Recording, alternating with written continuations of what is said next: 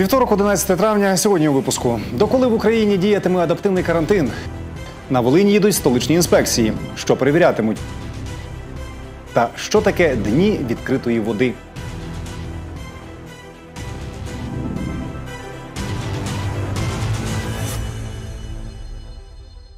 Події інформ просто зараз у телеефірі 12-го та будь-коли на наших сторінках у Фейсбук та Ютуб. Підписуйтесь та дивіться у зручний для вас час.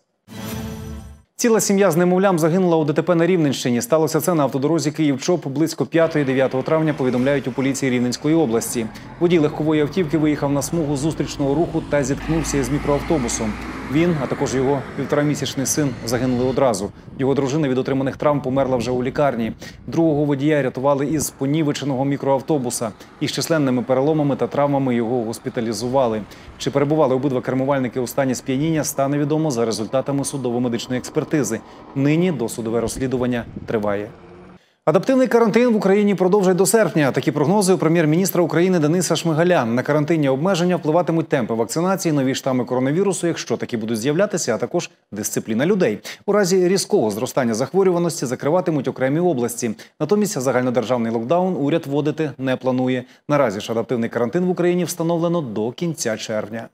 Як у регіонах вакцинують від ковіду, це перевірить Мінохоронздоров'я, розповів головний державний санітарний лікар Віктор Ляшко. МОН здійснюватиме моніторингові візити до областей, перевірятимуть причини частих відмов від щеплення, або ж чому певну особу не внесли до дорожньої карти вакцинації. Триватимуть перевірки впродовж тижня.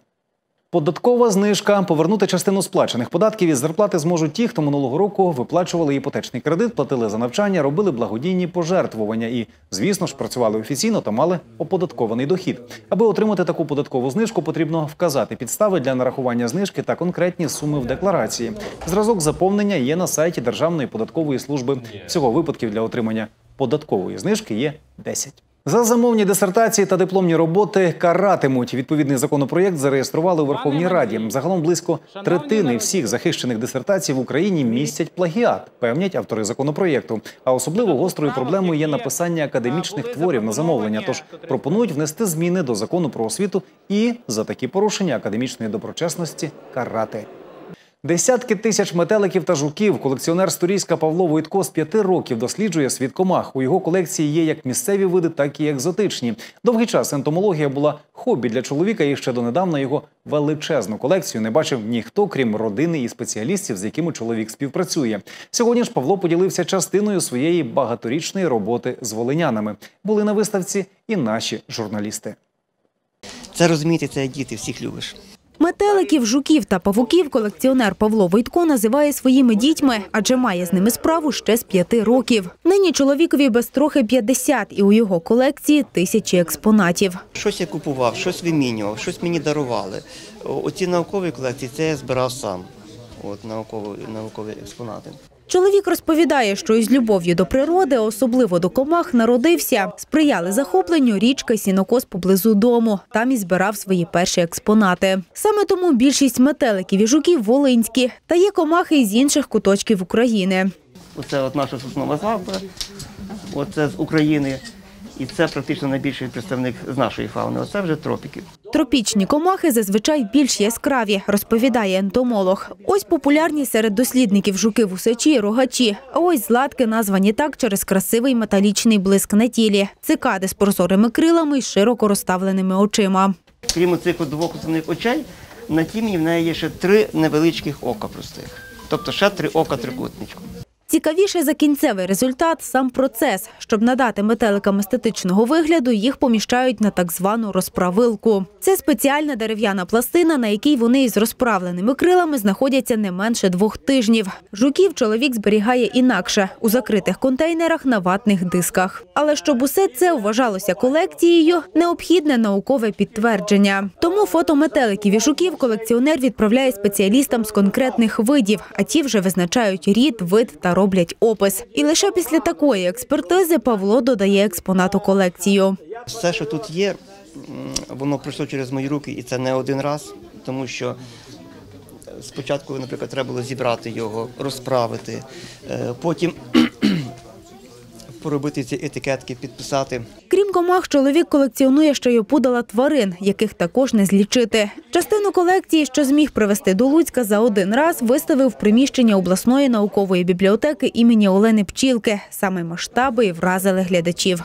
Тут і тропічні метелики, і українські метелики, і нічні метелики, і денні метелики, а жуки, які тут цікаві. Так що ну враження дуже дуже позитивне. Ми вивчаємо. У нас навіть зараз проходить курс ентомології, е, тому це навіть корисно було б е, сходити. Навіть якщо і так сходити, будь-кому це цікаво. Довгий час величезну колекцію Павла бачили тільки рідні й спеціалісти, з якими він працював. Та одна екскурсія у його міні-музей змінила все. Тепер чоловік займається просвітницькою діяльністю, організовує виставки для дітей і навіть планує проводити тематичні уроки з зоології. Марія Вавренюк, Олександр Садовник, 12 канал.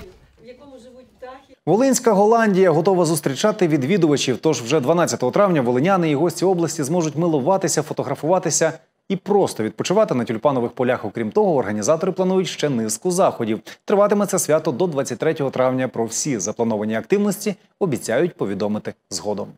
Водні забави для дітей у таборі сонячний, що у гаражі влаштували дні відкритої води. Тут юні волиняни мали нагоду поплавати на байдарках, спробувати свої сили у змаганнях зі спортивного туризму та почастуватися смаколиками. Побувала там і наша знімальна група.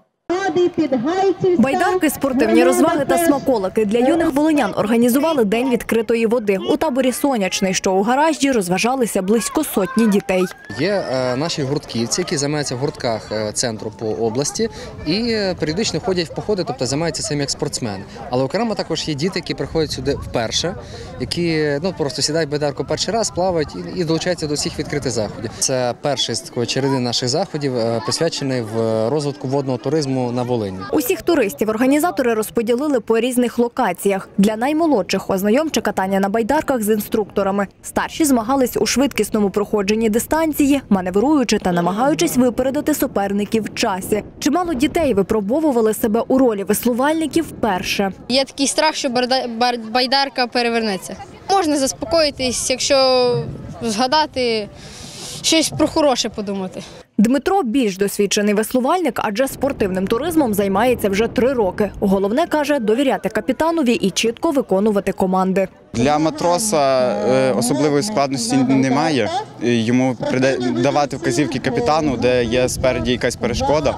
А капітан е, вирівнює байдарку і дає вказівки матросу, як і коли вигрібати. Навчитися керувати байдаркою спробували й ми. Не те, щоб це страшно, але почуваю я себе не дуже впевнено. Та капітан переконує, головне не боятися і насолоджуватися краєвидами. Слідувати чітко вказівкам, Головне, треба слухати капітана, і капітан все має робити. От я зараз табаню, бачите? Жопа розвертається, побачите, на, на неслові. Бачите? Паралельно з водними забавами діти брали участь у різних спортивних змаганнях та майстер-класах з техніки спортивного туризму. Я вже полазила на великій стіні, мені дуже сподобалось. Я теж дуже мріяла покататись на байдарках, якось не час не виходило. Також тут є місце, де є чайок, можна попити і відпочити. Організатори кажуть, захід подібного типу далеко не останній. Ми плануємо, що у нас буде дуже гаряче літо, і ну що через воду, через наші байдарки і походи пройде ну більше тисячі дітей. Наступні водні активності планують організувати вже наступного тижня. Ангеліна Гущина, В'ячеслав Білов, 12 канал.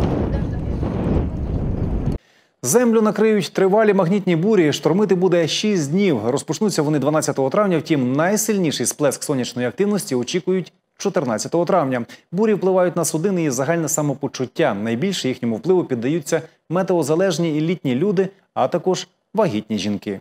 Після цієї інформації резонно буде побажати усім вам міцного здоров'я. І як завжди нагадати, що підписавшись на наші сторінки у Фейсбук та Ютуб, матимете змогу дивитись новини 12-го у будь-який зручний для вас час. Важливі для нас також ваші коментарі та пропозиції цікавих тем для наступних випусків. Отож, коментуйте, пишіть і телефонуйте. Наш номер 063 12 12 012. Я Роман Вербич. Побачимось.